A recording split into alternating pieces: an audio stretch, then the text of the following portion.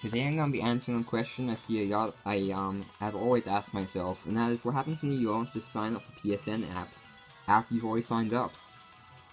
So, just gonna start it and see what happens.